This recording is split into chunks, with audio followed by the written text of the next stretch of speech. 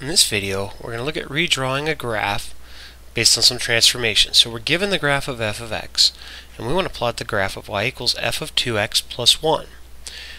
Now, this 2x in here does a horizontal compression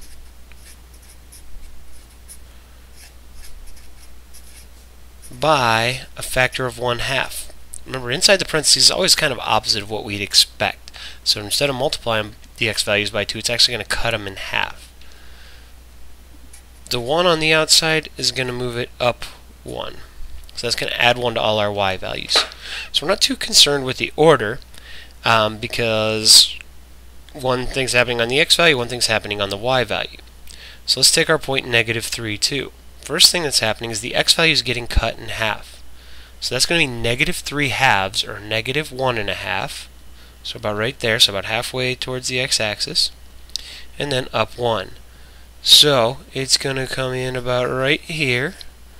And that's going to be the point negative 3 halves, comma 1. Now this will be kind of interesting. The x value here is 0. You multiply that by a half, it's still 0.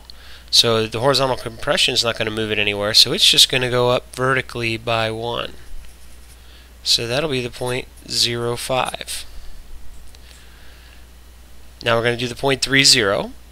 Multiplying the x value by a half is going to make it 3 halves, and moving it up 1 is going to make the y value 1.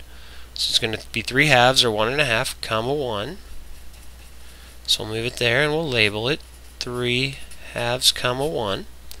And our last point, the 6 gets cut in half, so it goes to 3. The negative 2 gets bumped up 1. So we are going to move to the point 3, comma, negative 1. And now we can redraw our graph through our points.